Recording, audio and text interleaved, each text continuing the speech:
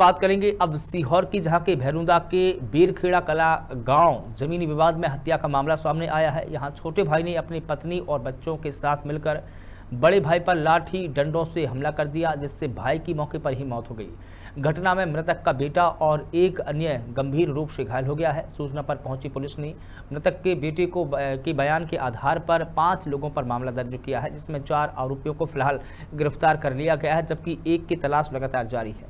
वहीं घायलों को इलाज के लिए भोपाल रेफर किया गया है। आज दिन करीबन 11 बजे ग्राम बोरखेड़ा में दो सगे भाइयों में जमीनी विवाद हुआ।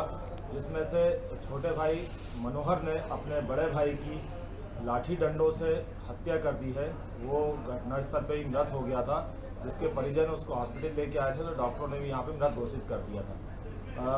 मृतक के बेटे दीपक मीना की ओर से हमारे यहाँ बलवा एवं 307 302 का अपराध पंजीबद्ध किया गया है, जिसमें उसका चाचा मनोहर मीना, दोनों चाचा के लड़के अनिल व सुनील एवं चाची झुमकी मीना और मनोहर का साले का लड़का बुरा मीना आरोपी बनाए गए हैं।